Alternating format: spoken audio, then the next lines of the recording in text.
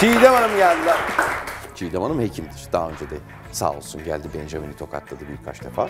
9 binlerin üzerine çıktık. Ama ne yazık ki arzu ettiğimiz noktaya ulaşamadık. Bu sefer arzumuz isteğimiz tur finali. İnşallah. Hatta tur finali şampiyonluğu.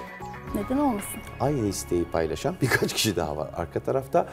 Nefsale Hanım güzel bir başlangıç yapmıştı ama belki ilk sırada olmanın verdiği tedirginlik, belki süre azaldı, eyvahlar olsun ne olacak telaşı birkaç soruda takılmasına neden oldu. Çok Açıkçası ama. değil mi? Evet. Mesela ticari mal zor soruydu. Bir tanecik harfle hallettiler. Amonyak keza aynı şekilde. Bir tanecik harfle ha- hallettiler. Top ağlarda da takıldık. Zannediyorum sizin 14 günün içerisinde öyle çıkıntılık yapacak bir soru yok gibi. Akar gider. Gelsin mi ilki? Gelsin. Hadi gelsin bakalım. Çiğdem Hanım'ın ilk sorusu efendim. Genç olanlarına kele veya tosun da denir. Nedir bu hayvanın ismi? Keçi? Keçi mi? Keçiye tosun demezler yahu.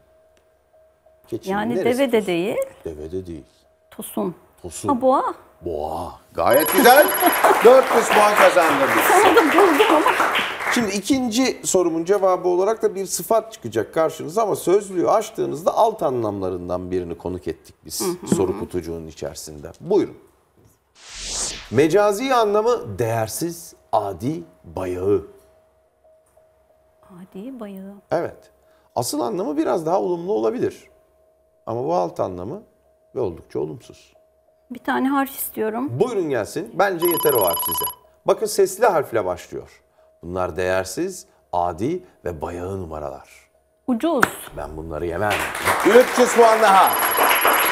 700 yaptığınız kasayı 1000'in üzerine çıkacak ilk 5 harfli cevapla birlikte. Eş anlamlı sorusu efendim. Vakit harcatmaz size. Buyurun gelsin. Diyor ki Arapça kökenli şart, Koşul. Türkçe kökenli karşılığı koşul.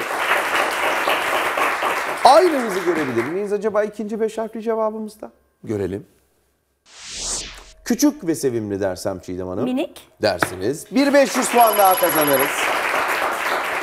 Burada bir bilgi var. Ne işinize yarar bilmiyorum. Ama ben bunu zaten biliyorum diyorsanız lütfen beni susturun. Soruyu okuyamayalım.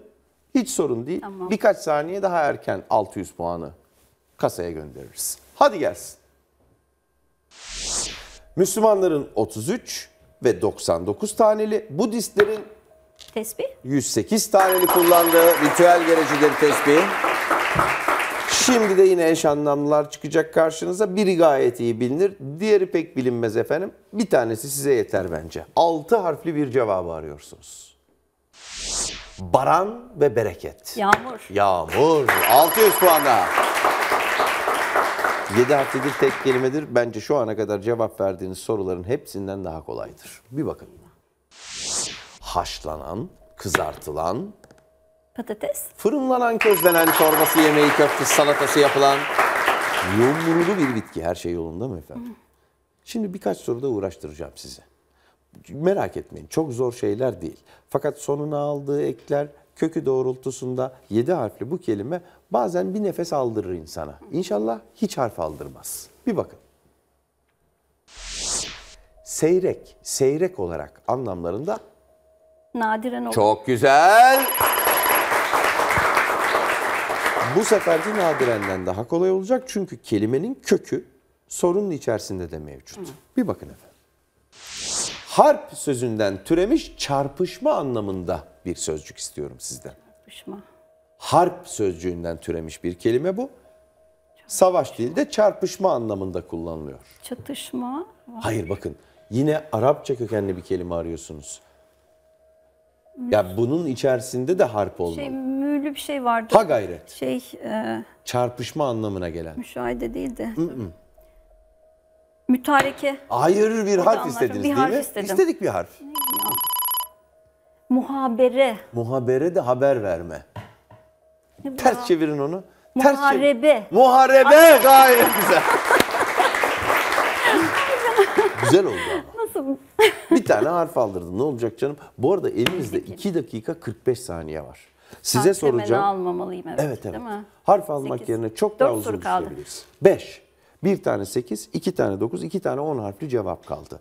2 dakika 45 saniye çok ciddi süre. Sıfır saniye olsun da bir daha harf almayalım. Olur mu?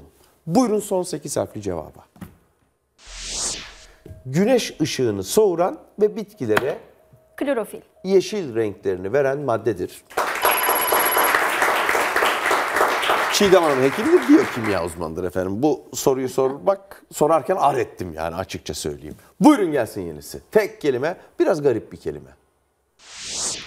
Birini veya bir şeyi kötü, iğrenç ve aşağılık bularak ondan uzak durma duygusuna kapılmak. İkrah etmek İğrenmek. gibi bir şey. Bir tane daha var. İğrenmek eksik kalıyor fark ettiğiniz üzere. Bize dokuz harfli bir şey lazım. İğrenç ve aşağılık olarak. Tek kelime. Tek kelime.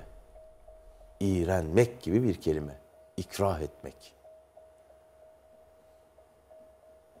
Dünyalardan ikrah ediyorum. Tiksinmek. Nedir efendim? Tiksinmek. Tiksinmek durdurdular. Kasada 6700 oldu. Elimde kaldı 3 tane soru. 2 dakikadan fazlası var elinizde. Unutmayın efendim. Şu anda 9600 olabilir ve lütfen olsun. Buyurun bakalım. Bir seyahat sırasında ulaşım, yeme içme, kısa süreli konaklama masrafları için ayrılan meblağ, iki kelime. Yol Ha gayret, parası sığdı mı? sığdı ama E ne yapalım? Durduralım. 900. durdurmayı unutuyorum. Ben hatırlatırım. Merak etmeyin. Süreniz var. Bir şey de olmaz 1-2 saniye kaybederseniz ama merak etmeyin efendim. 1 dakika, 1,5 dakika gibi bir süre arttıracaksınız. Risk almaya sevk edeceksiniz arkadan gelen rakiplerinizi. Buyurun. Bu sondan bir önceki sorunuzdur. Bir konuyu ayrıntılarla anlatırken öze ve sadete dönmek. Tek kelime. Başka anlamlara da geliyor bu kelime. Bir de bu anlamda kullanılıyor. Üze ve sadede dönmek. Evet, bir konuyu ayrıntılarla anlatırken, yani daldan dala konarken, o konuyu anlatırken, öze ve sadete dönmek. İrdelemek değil. Hayır. Konuşuyorum. Tek kelime. Tek kelime. Konuşuyorum, konuşuyorum, anlatıyorum, anlatıyorum. Ama çok anlattım yani. Çok detay verdim, çok ayrıntı verdim. Süremiz bitiyor. Bitiyor gerçekten. Uyarıyorlar beni diyorlar ki süremiz bitiyor. Toparlamak. Nedir? Toparlamak. Toparlamak efendim. En doğrusunu yaptınız. Harf almak yerine süreyi kullandınız. Daha önce de söylemiştim tekrar edeyim. 0 saniyeyle bitsin de 100 puan kaybetmeyin. Son sorudur, son cevaptır. Bakın şöyle sorulmuştur.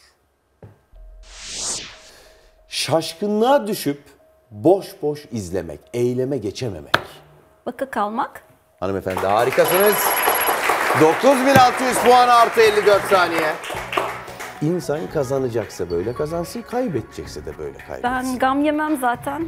Kendi rekorumu kırdım. Vallahi maşallah. Kocaman alkışlar efendim.